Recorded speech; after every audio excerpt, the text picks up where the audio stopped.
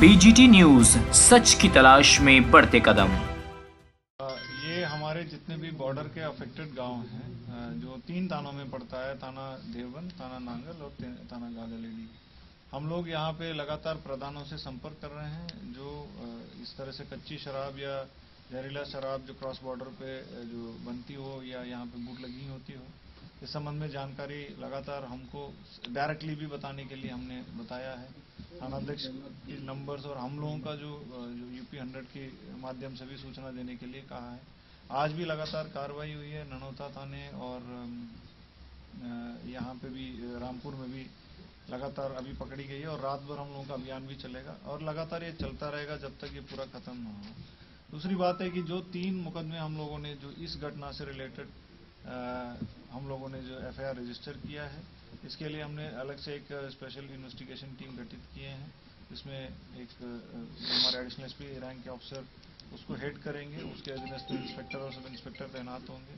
और इनका इस, इस केस को लेके पूरी पूरी ज़िम्मेदारी दी जाएगी। और इनका कोऑर्डिनेशन बगल के जो जनपद हरिद्वार से भी होगा। हमारी बात एसएसपी हरिद्वार से डायरेक्टली हुई है।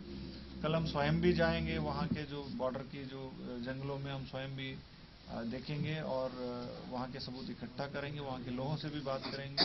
और हम लोगों का ये मेन ज़िम्मेदारी जो ये जो स्पूरियस लीकर की जो प्रोडक्शन और उसका जो डिस्ट्रीब्यूशन ये जो जो क्रिमिनल ट्राइब्स है इनको जल्दी गिरफ़्तार करना है। अभी इस वक्त की हमारी प्रायोरिटी है।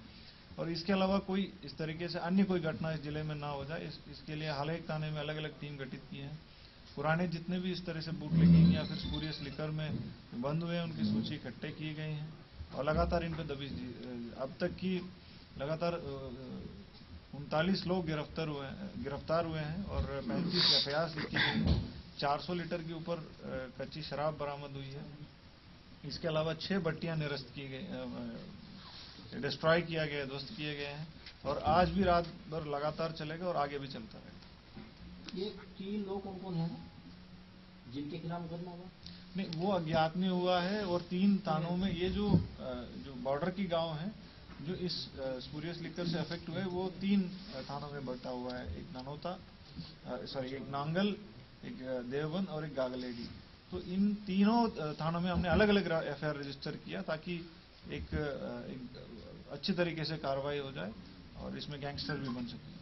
कुछ लोग आज हॉस्पिटल में एडमिट हुए उन्होंने बताया परसों हमने शराब पी ली थी आज दर्द महसूस कर रहे हैं। कुछ नॉर्मल शराब पिए हुए आए हैं ये इस तरह के मामले देखिए अभी कुछ हम सीएमओ से भी बात किया ये ये काफ़ी इसमें जो फेक केसेस भी आ रहे हैं जिसमें कुछ लोग हाइपर के भी मरीज़ आ रहे हैं कुछ लोग नया बॉटल खरीद के अलग से बाहर से लेके आ रहे हैं पीते हुए आ रहे हैं इस तरह से भी कुछ केसेस आई है बट इसको हर केस को हम गंभीरता से ले रहे हैं ऐसा नहीं कि हल्के में ले रहे हैं। कोई भी केस आ रहा हो, हर केस को हम गंभीरता से ले रहे हैं और उनका इलाज किया जा रहा है। फ़िलहाल जो परसों से रिलेटेड केस आज जो शाम को आए, वो फेक कुछ केसेस फेक थे। में कई गाँव में शराब देखिए, जो भी इंफॉर्मेशन अभी पिछले ढाई महीने के अंदर हमारे जो एफआईआर हम लोग डेढ़ सौ से ज़्यादा एफआईआर हमने रजिस्टर किया है। 246 लोग पिछले, सिर्फ़ और सिर्फ़ ढाई महीने के अंदर हमने गिरफ़्तार किया है। छह गैंगस्टर एक्ट हम लोगों ने दर्ज किया है। दर्जनों गुंडा इन लोगों के खिलाफ कार्रवाई। ऐसे नहीं है, हम लोग इससे पहले कार्रवाई नहीं की है। बहुत कार्रवाई की है। हमारे फोकस बॉर्डरों पे है। अभी कुछ दिन पहले की ट्रक भी पकड़े हैं वहाँ पे। सैकड़ों पेटी शराब भी बरामद हुआ। इस तरह से हम लोग हल्के में नहीं ले रहे हैं, इसको बहुत सीरियसली ले रहे हैं गंभीर पूर्वक ले रहे हैं। इसलिए हम अपने जो जितने जितने भी इलाका में जो हुआ है, उनके जो संबंधित कर्मचारी को हमने निलंबित भी किया है।